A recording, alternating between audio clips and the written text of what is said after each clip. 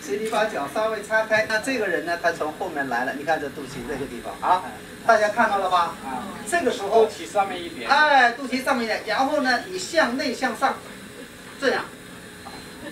当然了，他要是噎住的时候，他不会这么立正站着，是吧？他肯定看这么难受，你给他，哎，快速的冲击，有那么几下的就能行了。如果他，如果他一个人的时候，就我说的，他怎么办呢？